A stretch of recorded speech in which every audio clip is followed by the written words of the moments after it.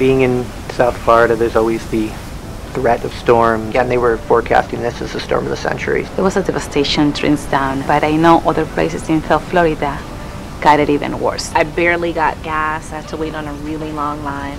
It was scary, and I, that part made me like scared to not be able to get gas to even drive after if I needed to for anything. A lot of Floridians are prepared for these type of things and they do what they need to to be able to sustain after the storm. We boarded up our house, bought lots of water, filled up water bottles just in case, you know, we were preparing for the worst. I have decided to document the way that I feel via my face. And I think I've probably aged about, I don't know, 10 to 15 years. So we'll let you guys decide what that looks like. We started kind of planning with our offshore team. They have been behind the scene with us and making sure that they can start the process for payroll. It was really good and I'm very glad we have them. We have um, team members that are really putting their heart for DCR and that's what it matters.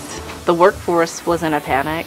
You know, everyone wanted to know what we were going to do and how serious it was. I had to make sure that I communicated to everyone we are taking it seriously, when are we leaving, what to do if we're impacted, and what to do after we're impacted.